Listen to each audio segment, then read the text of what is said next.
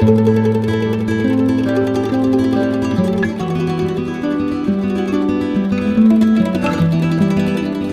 जान का सबसे खराब रोग क्या है? मोटापा। मोटापा कम करना है तो भरपेट गुड़ खाइए, भरपेट तिल खाइए, भरपेट मूंगफली खाइए, मोटापा भी कम हो जाएगा। तो गुड़ खाइए। मेरा कहने का मतलब ये है। अब गुड़ के कितने प्रिपरेशन है हमारे घर में? गुड़ का तिल का प्रिपरेशन एक है। तिल पट्टी कहते हैं गजक गजक। तो भरपूर गजक खाइए। क्यों खाइए जी? तिल है और गुड़ है। गुड़ में जो केमिकल है ऑर्गेनिक तिल में लगभग वही सब है जो गुड़ में तिल भी क्षारीय है, गुड़ भी क्षारीय और दोनों क्षारीय चीज़ें खाएँगे तो पेट के अम्ल को बैलेंस करती रहेंगी। तो तिल गुड़ रोज खाइए। माने तिल की पट्टी बनाइए, गजक बनाइए। नहीं तो तिल का लड्डू बनाइए, गुड़ के साथ बनाइए। फिर इसी तरह से मूंगफली है। मूंगफली भी क्षारीय है और गुड़ भी क्षारीय है। तो मूंगफली और गुड़ मिला के वो पट्टी आती है, वो खाइए, बच्चों को खिलाइए। और आपके पास जो भी प्रिपरेशन है, गुड़, तिल के, गुड़, मूंगफली के, वो सब बनाइए। और ये जो तीन चार महीने हैं, नवंबर, दिसंबर, जनवरी, फरवरी तक, भरपेट खाइए, भरपूर खाइए। क्योंकि इस समय आपके शरीर को इन्हीं की ज़रूरत है। तो कफ ज़िंदगी से बहुत बहुत दूर रहेगा। तिल खा रहे हैं, गुड़ खा रहे हैं, मूंगफली खा रहे हैं। कफ बढ़ने की बिल्कुल संभावना नहीं। तो ज़िंदगी में कफ के रोग आने की संभावना नहीं। अब जानते कफ का सबसे खराब रोग क्या है? मोटापा। मोटापा कम करना है तो भरपेट गुड़ खाइए, भरपेट तिल खाइए, भरपेट मूंगफली खाइए, मोटापा भी कम हो जाएगा। आपको डर है ना? तिल खाएँगे जी, उसमें से तेल है। तेल तो है तिल में, लेकिन वो एचडीएल वाला। एलडीएल वाला नहीं है वीएलडीएल ये मोटापा जो है ना, वो वीएलडीएल और एलडीएल का चक्कर है। एचडीएल जैसे ही बढ़ेगा, मोटापा अपने आप कम होगा। पेट अंदर ही जाएगा। आप में से कोई भी मेरे कहने पर तीन महीने एक एक्सपेरिमेंट कर लीजिए। तिल चबा चबा के खाइए खाने के बाद। तीन महीने के बाद वज़न